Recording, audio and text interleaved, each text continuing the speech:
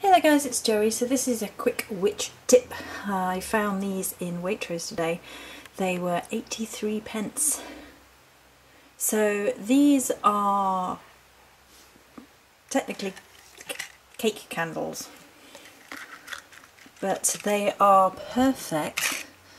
Very, very small, very, very slim little candles in gold and silver, along with the holders if you want them um, and you could you know get a bit of clay and pop them in for quick spells.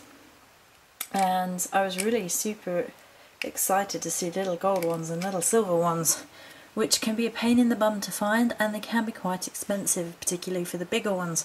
So if you just wanted some little silver and gold ones uh, these would make fantastic little god and goddess solar and lunar energy type candles if you only have a very small space or if you want to do quick offerings to both deities they make for a really great little find. So I just thought I'd share that really quickly. As a quick witch tip many blessings